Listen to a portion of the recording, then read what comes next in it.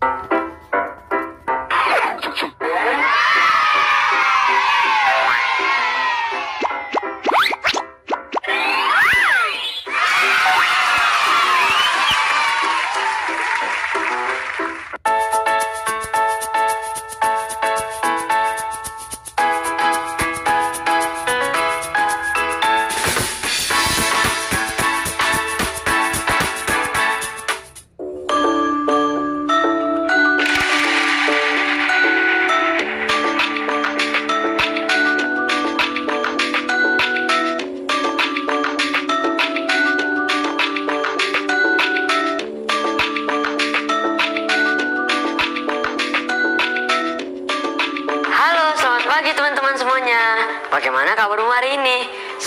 Sehat dan selalu bahagia ya.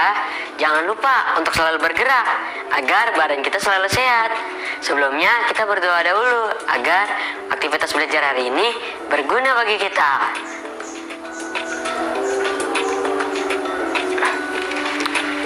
Jangan lupa siapkan kamu punya buku kerja dan alat tulis ya.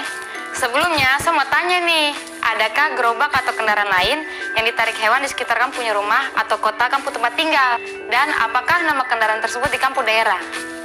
Dan kamu pernah menaikinya ke tidak? Kalau di sapu daerah ada, dia bernama Delman. Kalau kamu bagaimana? Tetap di sini ya teman-teman. Mari kita mulai petualangan kita hari ini. Semangat ya teman-teman. Semangat!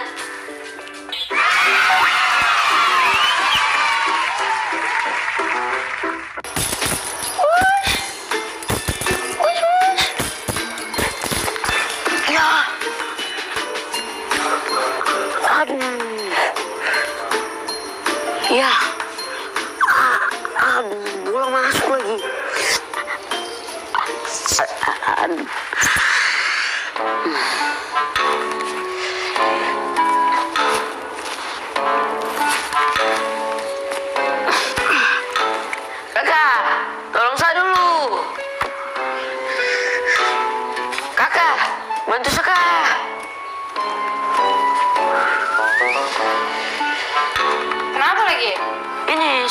Masuk dalam kolong. Kenapa sampai kok bola bisa masuk dalam kolong? Ah, tadi saya main sama kucing. Bagaimana dia punya cara untuk ambil saya punya bola, Kak? Udah gampang, nanti kok tarik sofa, kakak yang dorong.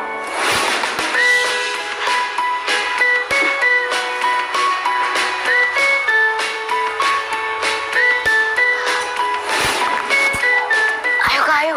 Ayo. Yuk, tarik. Ayo, kakak dorong juga. Udah nih. Hmm.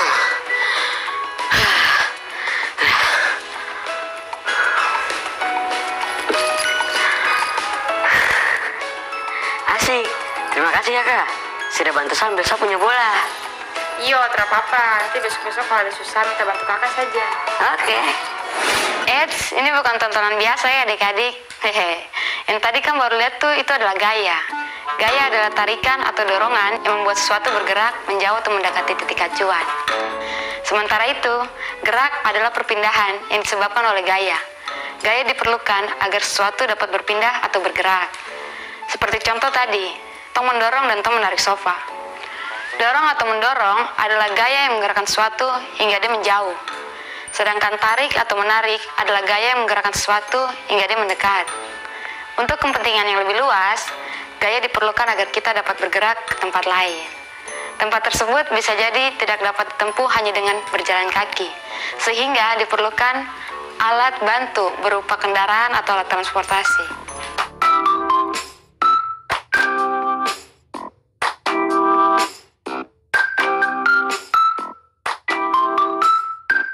Pada alat transportasi modern, pemakaian gaya tidak hanya berupa tarikan atau dorongan tenaga manusia atau hewan. Namun gaya tersebut dapat berupa tenaga mesin loh. Contoh dari alat transportasi dengan tenaga hewan, contohnya adalah delman. Kalau dengan tenaga manusia, itu beca. Kalian pun juga bisa menggunakan tenaga kalian untuk berpindah tempat dengan cara mengayuh sepeda. Selanjutnya, silakan Adi. Nah, kamu tahu kah Contoh lainnya yang biasanya ditemukan saat lomba hari kemerdekaan yaitu permainan tarik tambang.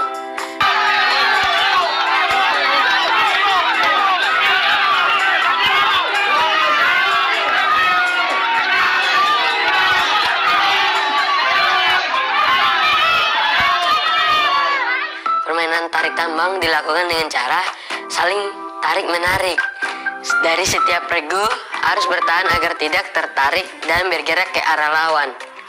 Regu yang akhirnya tertarik dan bergerak ke arah lawan dinyatakan kalah. Apakah kamu pernah melakukan permainan ini? Baik di rumah maupun di sekolah. Jika kamu sudah memahami cerita tadi, jawablah pertanyaan-pertanyaan berikut ini ya. Yang pertama, jelaskan aktivitas dorong-mendorong yang disebutkan dalam adegan sebelumnya dan berikan contohnya.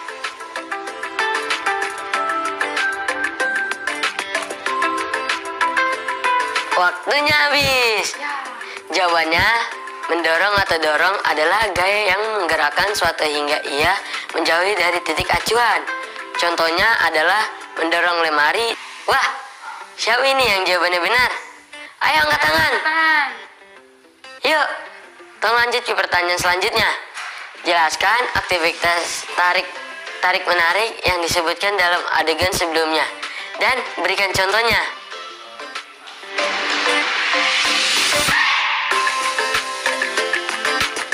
Waktunya selesai. Jawabannya adalah tarik atau menarik adalah gaya yang menggerakkan suatu hingga ia mendekat. Contohnya menarik lemari buku. Untuk pertanyaan selanjutnya, kalian bisa mencatat dan langsung menjawabnya di buku latihan kalian ya. Ayo teman-teman. Menurut pemahaman kalian, apa yang dimaksud dengan gaya? Kemudian, menurut pemahamanmu, mengapa suatu tidak akan bergerak jika tidak ada gaya yang mempengaruhinya? Dan yang terakhir, jelaskan manfaat gaya seperti yang dijelaskan di video. Jangan lupa kamu meminta bantuan kepada bapak dan mama atau anggota keluarga lainnya ya untuk memeriksa, memeriksa hasil kerja kalian. Nah, tadi kan udah selesai adik bicara. Setelah mempelajari dorong dan tarik, sekarang kamu tugas adalah sebutkan kegiatan-kegiatan mendorong dan menarik yang biasa kamu temukan sehari-hari di kampung rumah. Selain itu, kegiatan itu bisa jadi dilakukan oleh benda atau alat yang bisa kamu temukan di kampung rumah. Buatlah tabel seperti ini. Kemudian, isi dengan kegiatan menarik dan mendorongmu. Misalnya, saat memasang kaos kaki, apa yang kamu lakukan? Menarik atau mendorong kaos kaki tersebut agar terpasang dengan baik. Contoh lain adalah saat kamu menyalakan lampu. Kira-kira kamu menarik atau mendorong tombol saklarnya ya? Kamu dapat mendiskusikan ini bersama kamu punya orang tua atau kamu punya wali di rumah. Selamat mengerjakan ya teman-teman. Selamat. Setelah menonton contoh tadi, kita mendapatkan kosakata baru nih adik-adik, yaitu gaya. Yang merupakan tarikan atau dorongan yang membuat suatu bergerak, mendekati atau menjauhi titik acuan. Sedangkan acuan sendiri adalah rujukan. Selanjutnya, kita main games yuk adik-adik. Ayo teman-teman. Temukan lima kata yang ada di dalam pembelajaran dorong dan tarik.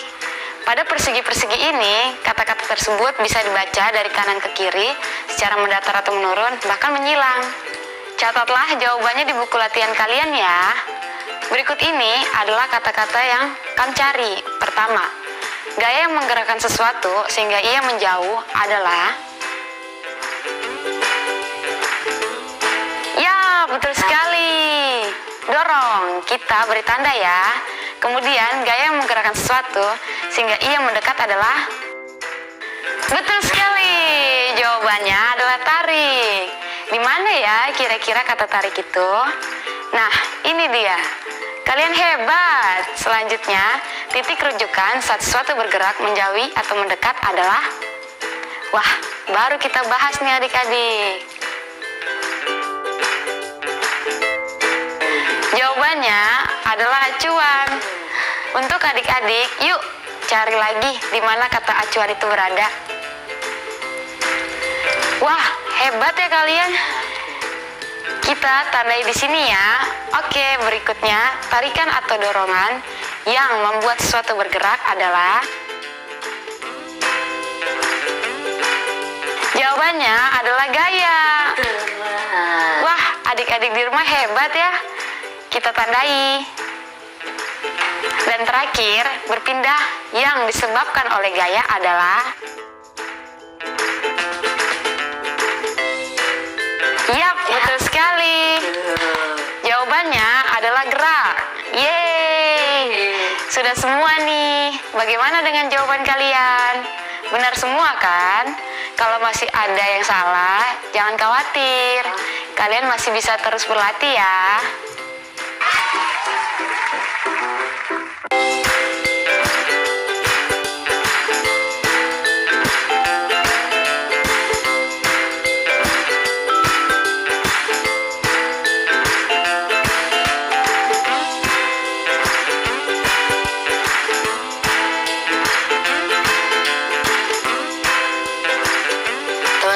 Kan bisa beristirahat dulu sambil berlari-lari kecil di tempat. Satu, dua, tiga, empat, Semangat tadi. Satu, Semangat. Semangat dua, tadi. tiga, empat, satu, dua, Ayo semangat. Semangat. tiga, empat. Untuk menyelesaikan kegiatan belajar hari ini, jangan lupa mencatat hal menarik dari bacaan yang kamu baca hari ini ya di jurnal membaca mingguan kalian. Tetap di sini ya, kita akan segera berpetualang lagi. Halo adik-adik, selamat datang kembali. Kita main games lagi yuk. Ayo. Di sini sudah ada adik yang akan menemani kita semua. Membandingkan banyaknya roda-roda pada beberapa kendaraan yang menggunakan tanda. Tanda apa saja, Dek? Ada tanda seperti ini, dibacanya kurang dari.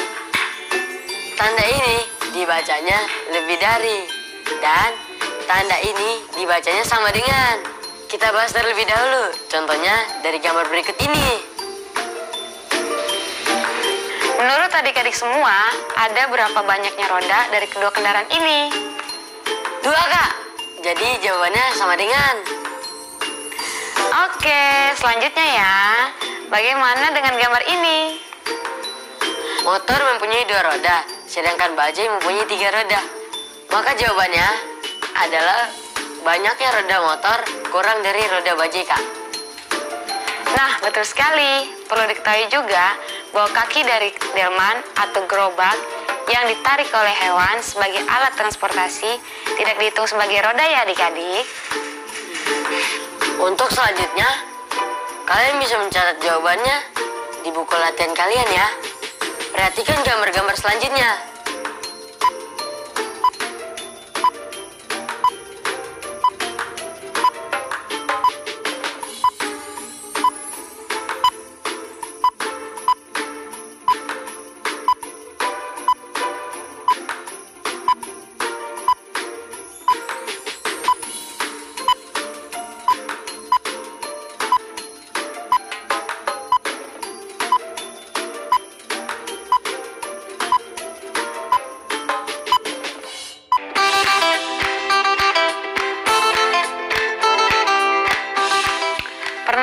Naik kereta kuda?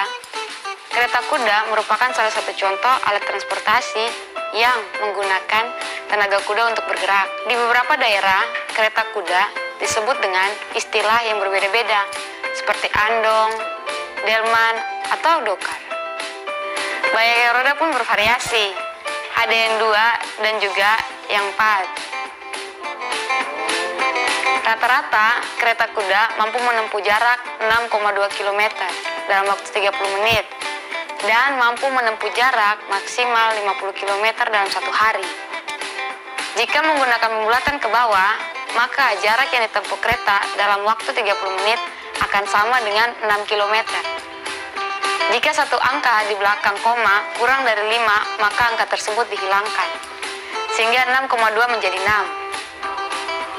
Tapi jika menggunakan pembulatan ke atas, maka dalam waktu 30 menit kereta kuda mampu menempuh jarak 7 km. Dari pembulatan itu dapat dilihat bahwa jika menggunakan pembulatan terbaik, maka dalam waktu 30 menit kereta kuda mampu menempuh jarak 6 km karena posisi 6,2 lebih mendekati 6 daripada 7 atau angka di belakang koma. yaitu 2, lebih kecil dari 5. Apakah kamu setuju? Setuju. Pembulatan satuan ke bawah, kesatuan terdekat dilakukan dengan cara menghilangkan angka di belakang koma. Pembulatan ke atas, kesatuan terdekat dengan cara menghilangkan angka di belakang koma dan menambahkan bilangan satu pada angka satuannya. Contohnya 6 ditambah 1 sama dengan 7. Pembulatan terbaik kesatuan terdekat dilakukan dengan memperhatikan satu angka yang terletak di belakang koma. Jika angka lebih besar dari atau sama dengan 5, seperti 5, 6, 7, 8, dan 9, maka pembulatan dilakukan ke atas. Jika angkanya lebih kecil dari 5, seperti 4, 3, 2, dan 1, maka pembulatan dilakukan ke bawah. Contohnya, Bulas Mini adalah seorang guru sekolah dasar. Setiap hari beliau pergi ke sekolah dengan menggunakan delman, karena jarak sekolah tidak terlalu jauh dari rumahnya. Jika untuk sampai ke sekolah, Bulas Mini membutuhkan waktu 8,9 menit. Berapakah pembulatan ke bawah, pembulatan ke atas, dan pembulatan terbaik, kesatuan terdekat untuk waktu yang dibutuhkan? Kita ulas jawabannya bersama-sama ya. Iya.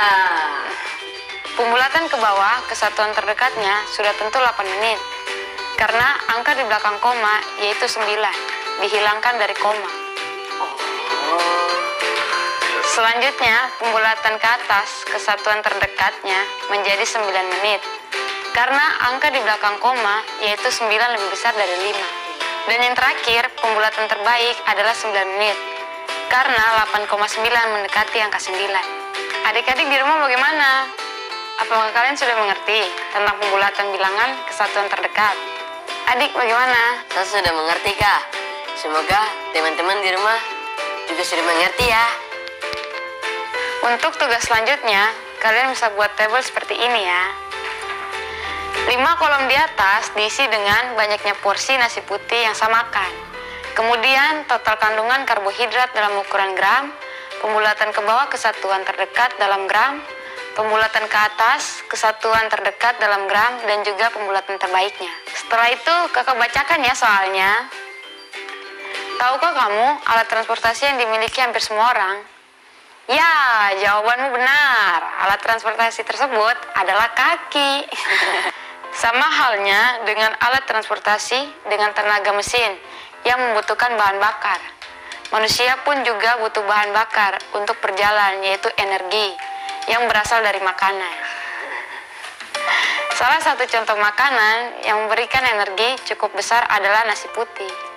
Satu porsi nasi putih mengandung 53,2 gram karbohidrat. Sekarang, hitunglah banyak porsi nasi yang kamu makan jika kamu makan tiga kali dalam sehari. Salah satu contoh makanan yang memberikan energi cukup besar adalah nasi putih. Satu porsi nasi putih mengandung 53,2 gram karbohidrat. Sekarang, hitunglah banyak porsi nasi yang kamu makan jika kamu makan tiga kali dalam sehari. Setelah itu, hitunglah banyaknya kandungan karbohidrat dari porsi makan tersebut. Setelah memperoleh hasilnya, lakukan pembulatan ke bawah, ke atas, dan terbaik kesatuan terdekat. Jika sudah selesai, mintalah bantuan anggota keluargamu untuk memeriksa hasil latihanmu ya. Oke. Nah, kita sudah tiba di pengunjung acara nih adik-adik. Teman-teman, jangan lupa ya untuk mencatat kembali apa saja yang sudah kita pelajari hari ini. Hari ini kita sudah mendapat pelajaran tentang dorong dan tarik, perbandingan banyaknya roda, dan juga pembulatan ke satuan terdekat. Terima kasih banyak ya adik-adik semua sudah mengikuti petualangan kakak dan adik hari ini. Jika masih ada yang belum paham materi, kamu bisa meminta bantuan kepada anggota keluargamu untuk mempelajarinya lagi. Semangat teman-teman. Sampai berjumpa besok. Dadah.